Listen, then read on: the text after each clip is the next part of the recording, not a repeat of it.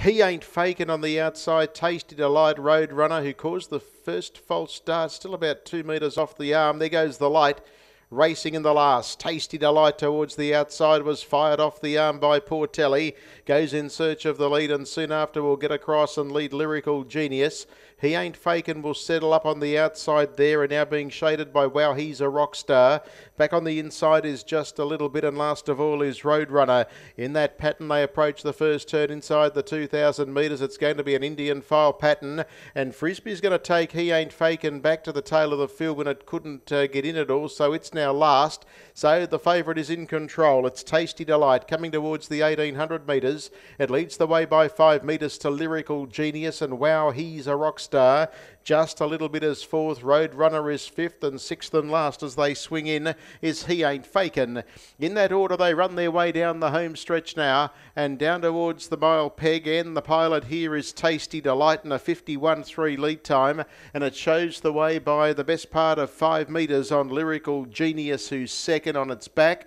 Third is Wow, he's a rock star. And fourth is Just a Little Bit. Fifth is as they pass the post Roadrunner. And he ain't faking, still last of all, about 25 metres off the leader.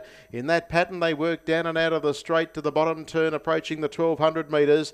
And at the moment, it's a procession. Tasty Delight leads it by about five metres to Lyrical Genius. And wow, he's a rock star just a little bit as fourth. Fifth road runner, and he ain't faking, still spotting Tasty Delight. The horse he beat in the Simpson Memorial a couple of weeks ago spots him probably about 25 metres down the back inside the thousand. First quarter of the last mile was paced in 30.4, and the leader still is Tasty Delight, leading out from Lyrical Genius and Wow, he's a rock star. They were followed by just a little bit Roadrunner, and Anthony Frisby decides it's time. He's going to try and put the horse into the race, maybe get some cover into it if he can flush something out. 29.9 the split, 60.3 the half. Nothing's come out yet, and the leader is Tasty Delight, and if anything, it ups the ante and gets six metres on Lyrical Genius. In third spot, wow, he's a rock star. Then just a little bit. They were followed then by He Ain't Faking, who starts to pick up. And last of all, as they near the Turner's Road Runner, but Portelli says, Catch me if you can on Tasty Delight.